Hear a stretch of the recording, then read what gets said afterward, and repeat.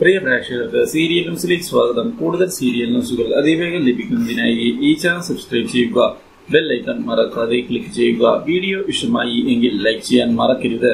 മഞ്ഞിൽ വിരിഞ്ഞ പൂവ് എന്ന പരമ്പരയിൽ നിർണായകമായ നീക്കങ്ങളുമായി മനു മുന്നോട്ട് കടന്നു വന്നിരിക്കുകയാണ്.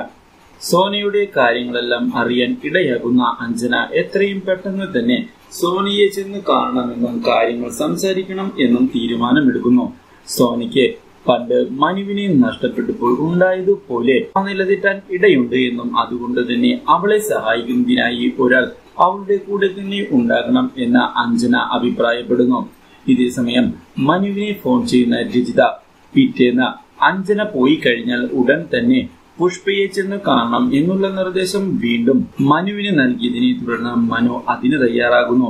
ഇതേസമയം ശേഖരനെ കാണാൻ ഇടയാകുന്ന രജിത കാര്യങ്ങളെല്ലാം മനു ചെയ്തു തരും എന്ന് ഉറപ്പുണ്ട് എന്നും അതിന് തയ്യാറായിട്ടാണ് മനു ഇപ്പോൾ നിൽക്കുന്നത് എന്നും. പക്ഷേ അഞ്ജലിയുമായുള്ള ആത്മബന്ധമാണ് ഇപ്പോൾ ചെറിയൊരു തടസ്സമായി നിൽക്കുന്നത് എന്ന് അഭിപ്രായപ്പെടുന്നു. എന്നാൽ താൻ വേണമെങ്കിൽ കാര്യത്തിൽ ഇടപെടാം എന്ന് ഗിരീഷ് പറയുന്നുവെങ്കിലും ഗിരീഷിന്റെ സഹായം വേണ്ട എന്നുള്ള തീരുമാനം ശേഖരൻ അറിയിക്കുന്നു. ഇതിനിടയിൽ അവിടേക്ക് രഘു കടന്നു വരുന്നത് ശേഖരന്റെ കണക്കുകൂട്ടലുകളെ തെറ്റിച്ചതിനെ തുടർന്ന് ഗിരീഷ് തൽക്കാലത്തേക്ക് അവിടെ നിന്ന് ഓടി രക്ഷപ്പെടുന്നു. ഇതോടെ ശേഖരനോട് ഗിരീഷ് ഇവിടെ ഉണ്ടായിരുന്നു എന്നുള്ള കാര്യം തനിക്ക് അറിയാമെന്ന് വ്യക്തമാക്കുകയും തടി എന്തിനാണ് കടത്താൻ ശ്രമിച്ചത് എന്ന് ശേഖരൻ വ്യക്തമാക്കണമെന്ന് പറയുകയും ചെയ്യുന്നു.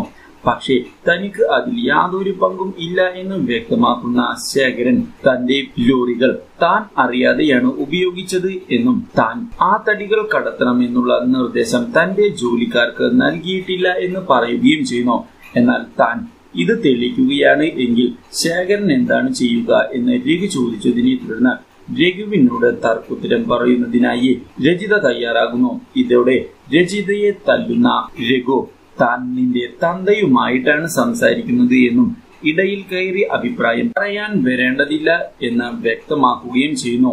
ഇതിനുശേഷം പിറ്റേന്ന് ചോദ്യം ചെയ്യലിന് ഇരുവരും വരണമെന്നും വന്നില്ല എങ്കിൽ പണ്ട് ശേഖരൻ ജോലി ചെയ്ത മുതലാളിയുടെ മരണം മുതലുള്ള കേസുകൾ ഓരോന്നായി പൊങ്ങിത്തുടങ്ങുമെന്നുള്ള ഭീഷണി മുഴക്കുകയും ചെയ്യുന്നത് ശേഖരന് തിരിച്ചടിയാകുന്നു.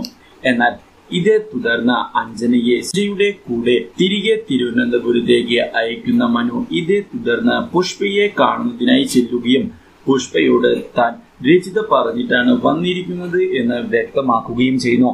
ഇതോടെ അഞ്ജനയുടെ ഓഫീസ് റൂമിലേക്ക് മനുവിനെയും കൊണ്ടുപോകുന്ന പുഷ്പ അവിടെ നിന്ന് ഓഫീസ് സീലുകൾ എടുക്കുന്നതിന് വേണ്ടിയുള്ള സഹായം ചെയ്തു കൊടുത്തതിനെ തുടർന്ന് ഓഫീസിൽ കയറുന്ന മനു അഞ്ജന അറിയാതെ അഞ്ജനയുടെ ലെറ്റർ പാഡും സീലും കൈക്കലാക്കിയിരിക്കുകയാണ്.